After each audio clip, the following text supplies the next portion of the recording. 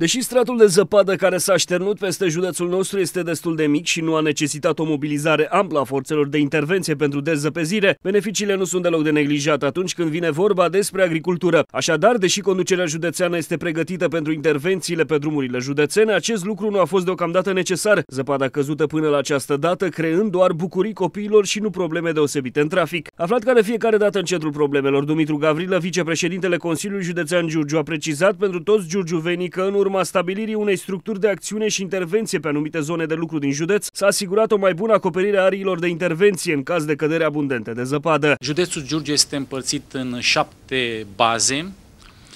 Uh, avem baza de sud unde responsabil este Direcția de Transporturi a Consiliului Județean prin domnul director Mateescu și încă șase zone uh, unde dezăpăzirea a câștigat-o patru societăți. Deși județul nostru nu s-a confruntat cu ninsori abundente, situația înregistrată în zona de nord este oarecum diferită de cea din partea de sud, aici stratul de zăpadă fiind ceva mai ridicat. Tocmai pentru a evita apariția unor situații critice care ar putea îngreuna circulația pe drumurile județene din această parte a județului, Cristian Marciu, cel de-al doilea vicepreședinte al Consiliului Județean Giurgiu, se află pe teren pentru un control atent al activității, dar și al dotărilor tehnice dispuse în teren. Și ieri și astăzi, domnul vicepreședinte Marciu este în control, să verifice drumurile județene.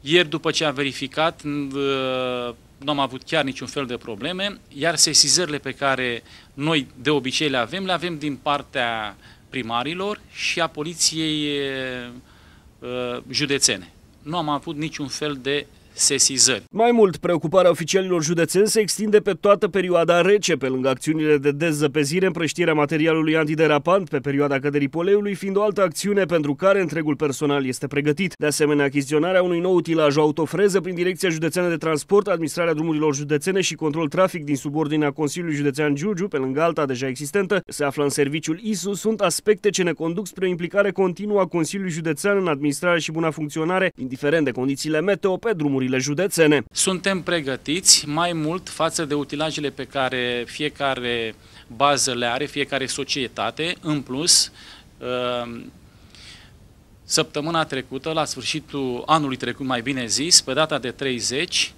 Consiliul Județean Giurgiu, prin Direcția de Transporturi, a achiziționat uh, o autofreză. Deja o avem uh, la domnul Mateescu, putem să, poate să funcționeze oricând și încă o freză o avem la ISU printr-un proiect transfrontalier luat de Consiliul Județean și această freză poate să funcționeze, dar când uh, zăpada depășește 50 de centimetri.